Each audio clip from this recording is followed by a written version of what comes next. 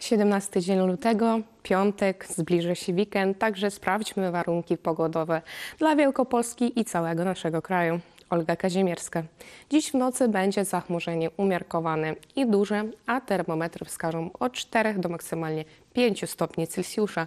Również będą przelotne opady deszczu.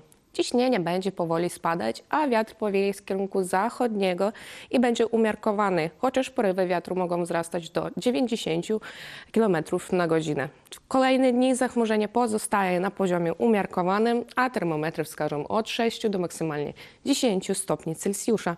Również będą przelotne opady deszczu, także polecam wziąć parasolkę. E, Ciśnienie będzie powoli wzrastać i może mieć wpływ na nasze zdrowie, a wiatr również powieje z kierunku zachodniego i będzie umiarkowany. Na terenie całej Polski będzie zachmurzenie duże i przelotne opady deszczu. Termometry wskażą od 4 do maksymalnie 11 stopni Celsjusza, a, nad morzem ostrzeżenia trzeciego poziomu, także proszę uważać na siebie, bo porywy wiatru mogą wzrastać do 120 km na godzinę.